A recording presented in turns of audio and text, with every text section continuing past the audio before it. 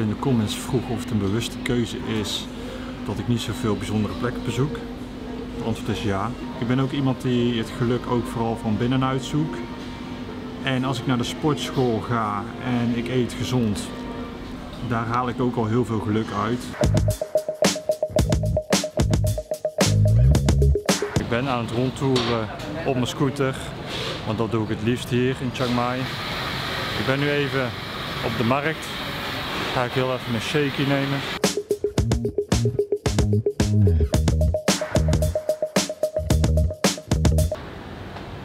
Ik moet wel eerlijk bekennen dat het de laatste tijd een behoorlijke uitdaging is om een vlogje klaar te spelen om de twee dagen. Ik ben ook geen uh, rijke YouTuber of zo die even zijn auto blauw kan laten spuiten.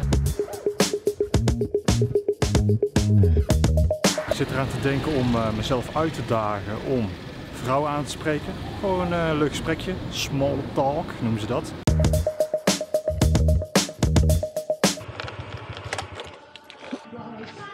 Hi. Can you speak English a bit? English? yeah? Okay. Yes, thank you. Ik heb op Google Maps park ingevuld en ik kom een beetje op een afgelegen gebied. Ik kom allerlei restaurantjes tegen en ik zie in één keer twee dames een beetje lachen, een beetje giechelen terwijl ik met mijn scooter voorbij rijd. Dus ik probeer een contact te leggen, alleen ze kennen voor geen meter Engels. Dit is de menukaart. Can also have your line.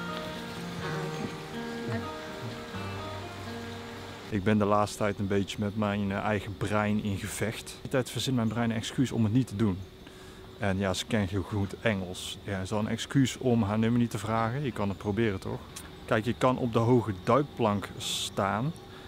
En je kan er het over nadenken, maar je moet gewoon springen. En nadat je hebt gesprongen, denk je van... Waar de fuck was ik al die tijd zo uh, onzeker over of bang voor? Door het te doen heb ik mijn eigen brein verslagen en krijg je zelfvertrouwen weer even een boostje.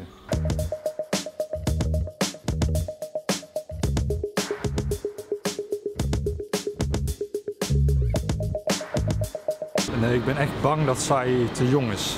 Een van mijn excuses die door mijn hoofd spookt is, volgens mij is ze onder 18. En dat zou best wel een goede excuus zijn om het niet te doen. Aan de andere kant, je kan ook haar leeftijd vragen. Maar dat is ook al een hele ongemakkelijke vraag. Wat ook zeker een rol heeft gespeeld is dat bij het vorige meisje, bij dat restaurantje, dat waren meiden die zaten al een beetje te giechelen en te lachen toen ik voorbij kwam met de scooter.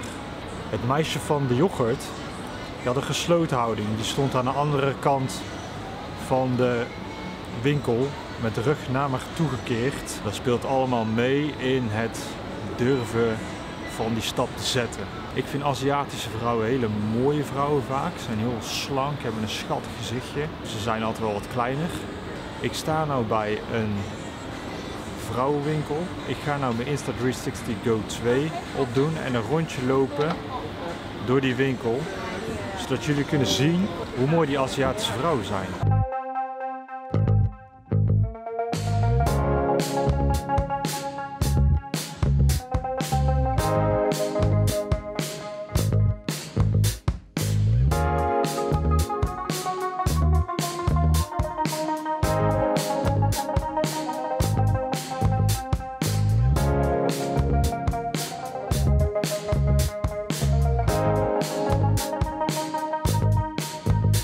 Leuk hè?